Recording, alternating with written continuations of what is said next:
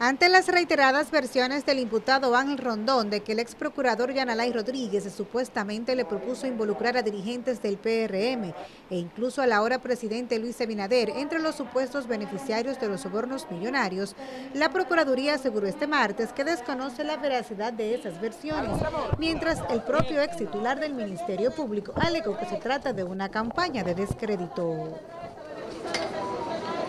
El director de la PEPCA, Wilson Camacho, dijo desconocer el supuesto acuerdo. Ese acuerdo eh, es de mi desconocimiento. En cualquier parte del mundo que el Ministerio Público hiciera una propuesta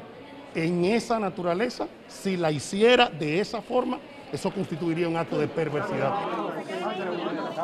Mientras el ex procurador Yanalay Rodríguez dijo a través de un comunicado que la campaña de descrédito inició en marzo del 2017 con el objetivo de confundir a la opinión pública a través de falsas historias, pretendiendo escapar de su responsabilidad penal. El exfuncionario exhortó a los imputados y a sus abogados presentar sus argumentos de defensa ante la justicia y no mediante fábulas y campañas de difamación en los medios de comunicación sobre las solicitudes de copia de cheques para demostrar aportes de campaña a candidatos, en particular del actual presidente Luis Abinader, Yanalay Rodríguez dijo que fue desmentido, ya que en la fase de investigación el Ministerio Público cuenta con una orden de un juez y tiene acceso a las cuentas bancarias de los imputados, por ende se hace innecesaria requerir dicha información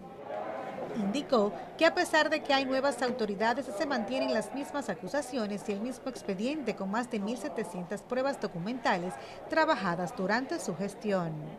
En la audiencia de este martes, las juezas del primer tribunal colegiado del Distrito Nacional rechazaron varias objeciones presentadas por los abogados de la defensa que buscaban que no se escuchara el testimonio de la perito María del Carmen Álvarez, quien fue analista de la Unidad de Investigaciones Criminales de la Procuraduría.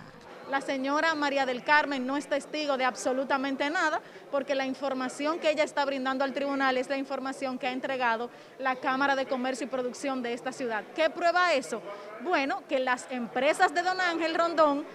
pagan sus impuestos. Este tribunal continuará escuchando los testigos presentados por el Ministerio Público en la próxima audiencia, que fue fijada para el jueves 28 de enero a las 9 de la mañana. Aris Beltré, Noticias SIN.